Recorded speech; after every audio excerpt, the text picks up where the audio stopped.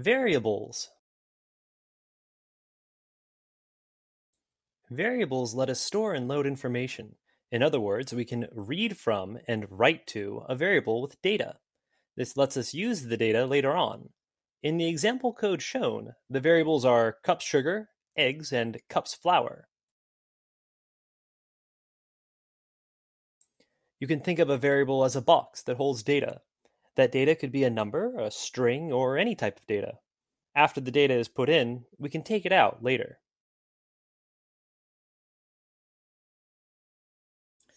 Anywhere that you use literal data, you can replace it with a variable. In this example, we have extracted the math expression to a variable. That variable can then be used in subsequent lines. Variables in computing are very different from variables in math.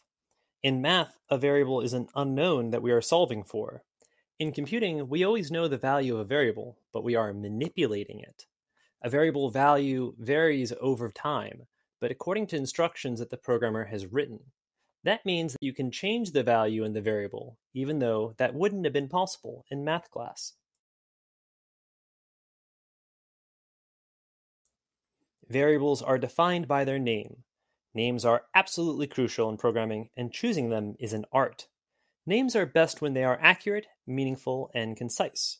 We use good variable names to communicate clearly, not just with other programmers, but with ourselves as we try to figure out code that we have written. Of course, computers do not understand variable names. Their meaning only matters to humans. There are two rules for naming variables. First, names can only have letters, numbers, and underscores. Second, names must begin with a letter or underscore. You can use underscores to serve as spaces between words, since spaces are not allowed in variable names.